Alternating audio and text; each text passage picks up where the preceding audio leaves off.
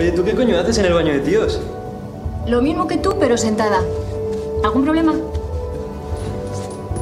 ¿Nunca has visto a una chica en un baño de chicos? Pues mira, ya tienes algo que contar.